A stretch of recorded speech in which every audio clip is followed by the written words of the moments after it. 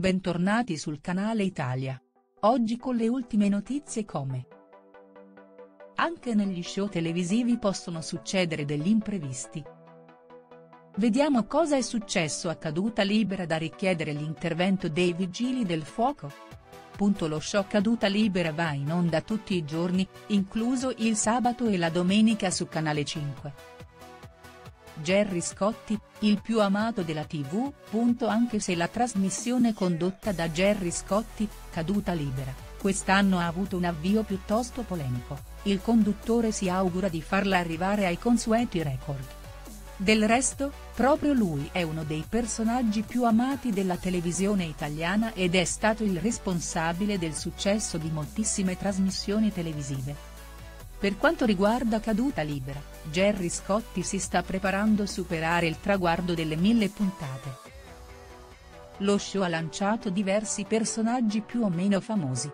Stando al parere di Gerry Scotti quello che maggiormente è entrato nel cuore del pubblico è stato Nicolò Scalfi, seguito da Christian Fregoni, Bagnino di Brescia.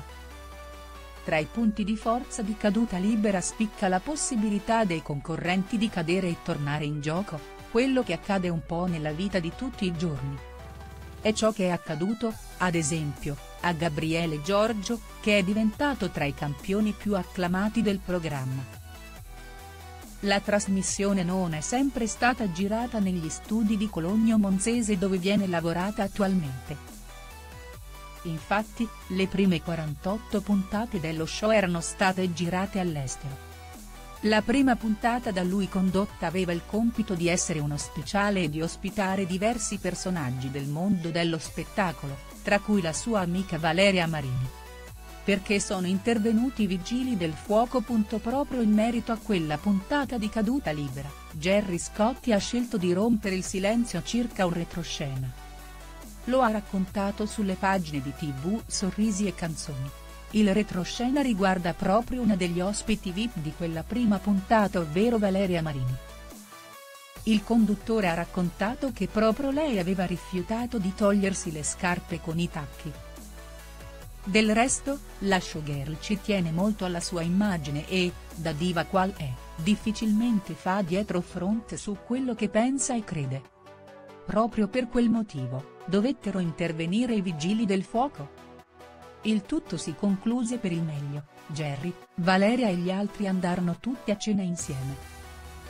Fu una puntata scoppiettante che, però, portò bene a caduta libera che da esperimento televisivo è diventata uno dei classici di Canale 5. Un altro ospite VIP si è comportato un po' sopra le righe. Si tratta di uno degli attuali concorrenti del GF VIP ovvero Amaurais Perez.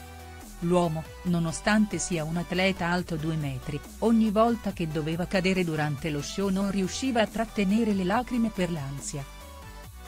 Cosa ne pensi delle notizie di cui sopra? Ti preghiamo di mettere mi piace e commentare la tua opinione in modo che possiamo discutere. Non dimenticare di iscriverti al canale per rimanere aggiornato sulle ultime novità. Arrivederci, ci vediamo al prossimo video.